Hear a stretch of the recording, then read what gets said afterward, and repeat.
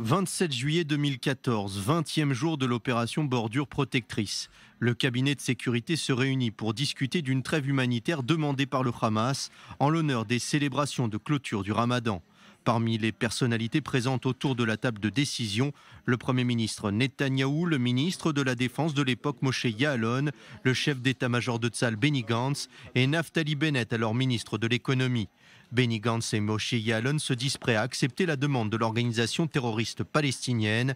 Naftali Bennett, lui, s'interroge. Chaque jour, il y a une trêve humanitaire d'un ou deux jours. Cela permettra à nos forces de s'occuper de la menace des tunnels. Il peut avoir un bénéfice opérationnel. Je suis pour cette trêve humanitaire. Chaque jour, nous gérons au mieux la menace des tunnels. La trêve permettra à nos forces d'avoir plus de liberté pour freiner cette menace. Je recommande d'accepter cette trêve. Oui, mais quels pourraient être les préjudices de cette trêve? Vous n'évoquez que ses avantages. Robert Serry, l'envoyé spécial de l'ONU au Proche-Orient, y est favorable. Il n'y aura aucun préjudice. Je suis surpris de votre réponse. Vous me dites que nous ne paierons aucun prix. Vous vous trompez.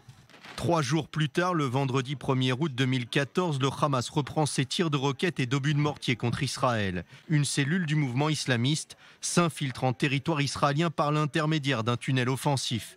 Elle parvient à tuer le major Benaya Sarael et le sergent Liel Guidoni. Le lieutenant Hadar Goldin et le soldat Oron Shaoul sont enlevés. Des conversations secrètes révélées par le quotidien gratuit Israël Ayom. Suite à ces publications, la direction du parti bleu-blanc dénonce une manipulation de l'opinion en cette période électorale.